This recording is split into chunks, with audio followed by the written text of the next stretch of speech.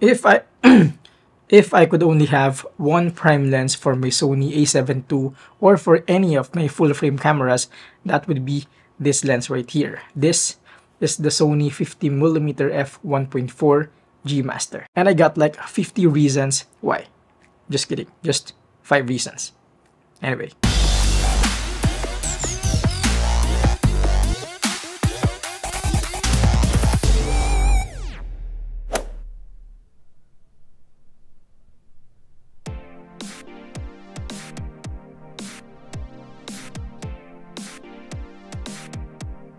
Before anything else, I would like to officially welcome you to my channel.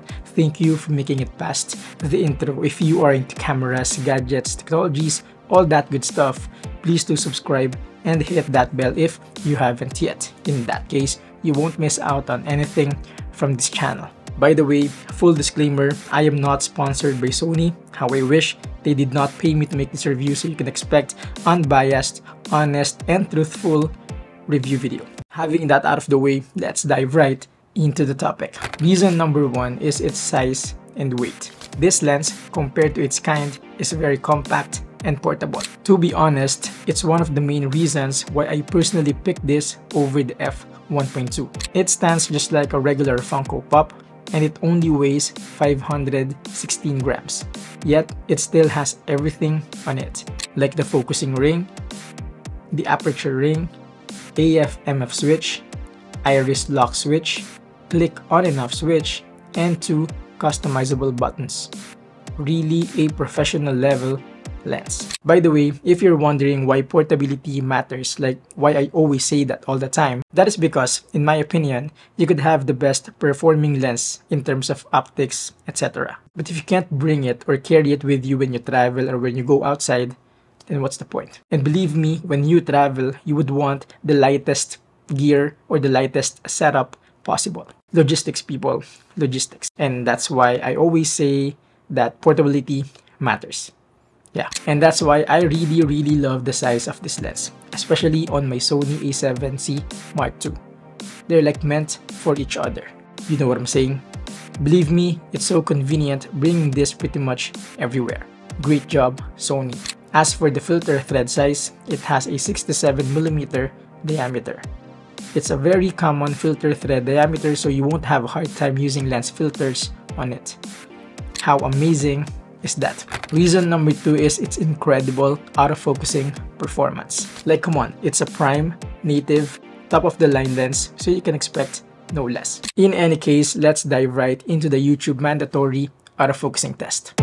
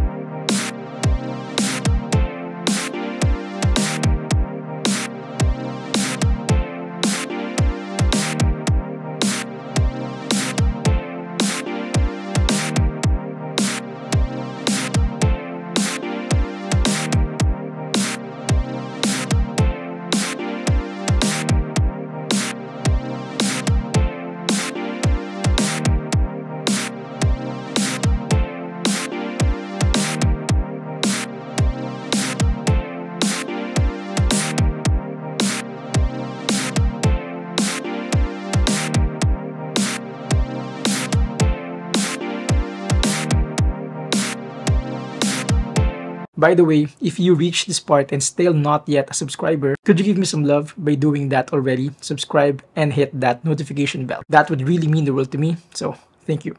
Back to the video. Reason number three is its a versatile focal length. Just for fun, I googled it. I just typed in 50mm focal length and this is what I found. The 50mm focal length provides a field of view similar to that of the human eye, resulting in images that feel instinctively realistic and familiar. I cannot agree more to that. As a matter of fact, that explains why shooting with it feels so natural. And probably that's also the reason why I find it easy to frame the subject and compose my shot using this lens. Hence, you can expect that I use it for any type of shoots, like for real even for videos, it is as flexible. This is what it looks like if you use it for talking head videos. Looks pretty decent and again and again, natural. This is what it looks like if you use it for product showcasing or something. Look at that background separation. Super duper cool. And this is what it looks like if you use it for vlogging. I won't personally use it for such but yeah. Nonetheless, you can use it for a whole lot of things. Like a whole lot. Because just like what Google said, realistic and familiar. Yeah. Reason number 4 is its whopping f1.4 maximum aperture. Hence, you can expect this lens to deliver great outputs. Like it can really separate the subject from the background. So if you are into creamy bokeh effect in your shots, look no more. This lens is more than capable and reliable. Not only that, it can also perform even in low light situations. Again and again, thanks to its f1.4 maximum aperture. Great job, Sony. Finally, reason number 5 is its minimum focusing distance. For those who don't know yet, minimum focusing distance is the shortest possible distance of the subject to the camera sensor in which it can still nail a perfect sharp focus. And guess what? This lens has only 0.41 meter minimum focusing distance. That's relatively short. Thus, perfect for close-up shots to get that extra details of the subject. Kinda like a macro shot. Kinda like. This is very ideal for product showcasing or something. And since I do a lot of that, you can bet it's a big deal for me like for real. By the way, I have recently reactivated my affiliate links, so if you are interested in the gear that I use for photography, videography, for making contents in general, you can head over to the description box below. Yeah, thanks in advance. But that's it, ladies and gentlemen. As for the conclusion, if there's one thing I don't like about it much, that is its price. Because by the time this video is made, the price of this lens is not so affordable for a single piece of glass but for what it offers, still, I'll keep it for sure.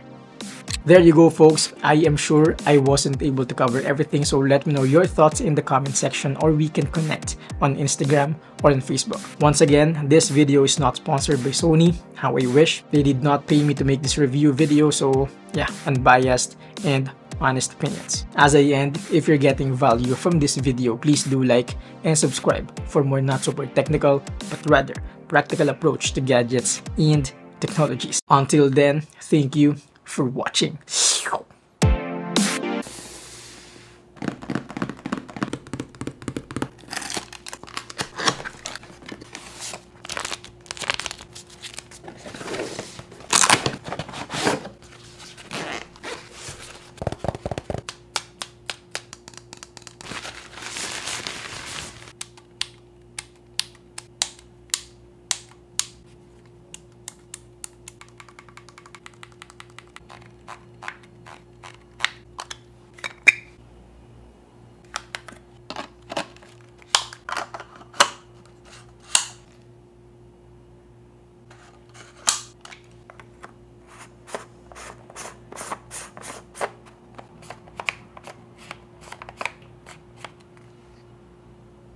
This lens is very compact and lightweight. This lens, this lens compared to other 50 millimeter is very compact.